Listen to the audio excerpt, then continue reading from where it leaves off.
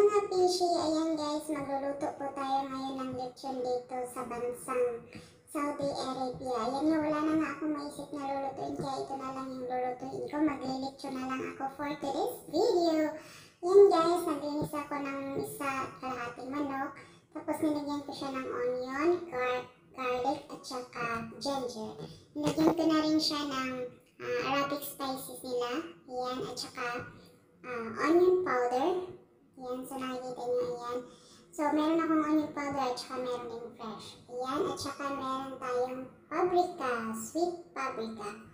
At saka naglagay din tayo nga ng ah, hot paprika. So, para matamis at saka maanghang yung ating lechon ngayon for today's video. Ayan guys, so konti-konti lang. So, tansyahin nyo lang guys ako kasi hindi na ako nag, ah, nagsukat-sukat yan. Tinatansya ko na lang siya. At saka naglagay na rin tayo dito guys ng ah, coriander powder.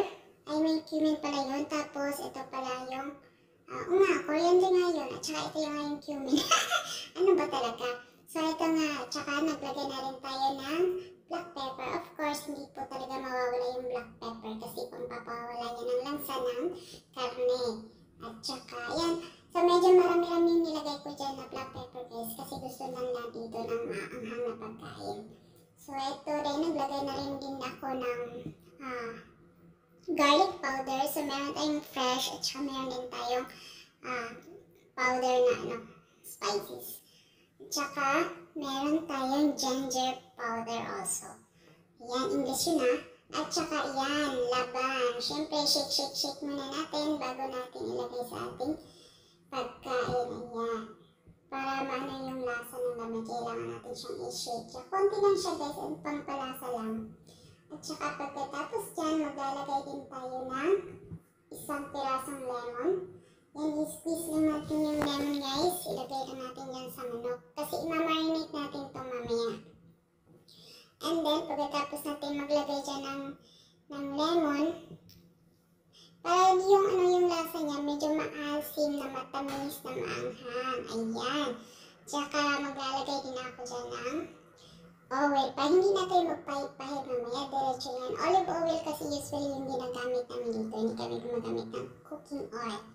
At saka isang, um, ano ba to? Chicken cubes. Of course, pampasarap, tsaka pampaalat. Hindi na ako maglalagay ng asin dyan guys, yan na lang. And most especially, hindi ko talaga nakakalimutan yung oyster sauce. Sa lahat ng pagkain, lalo na sa pansit, napakasarap talaga nitong oyster sauce. Ayan, so ayan, lamutakin lang natin, tsaka lamutakin. Ayan.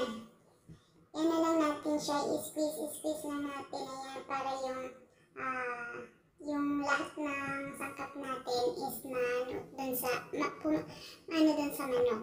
So, ayan, i- ano lang natin siya, himas-himasin lang natin yung manok. Ayan, durug-durugi, himasin mo ng maigi. Ayan, ipasok pa dun sa loob. Ayan, ipasok mo pa, char. ayan, guys. Yan lang yung gagawin natin. And then, pagkatapos niyan, pagkatapos niya siya himas-himasin, lahat na, lahat-lahat na, gawin mo na dyan. Ayan, i-marinate lang natin siya ng 10 to 15 minutes. Tsaka mas mainam talaga, mas masarap aabutin siya ng ano, 24 hours para manood talaga yung sauce sa, ano, sa. Mas masarap yun, mas maganda. Pero, ngayon kasi nagmamadali kami. Dahil wala, ah, wala na kasi akong maisip na lutuin. So, ito na yung gagawin ko ngayon. So, kung ano ko sana to na yung lulutuin ko, sana minarinate ko na ito kagabi pa. So, ayun guys, tapos na ang ating chicken. I-marinate lang natin siya ng 10 to 15 minutes. Ayun na. So, ayun guys.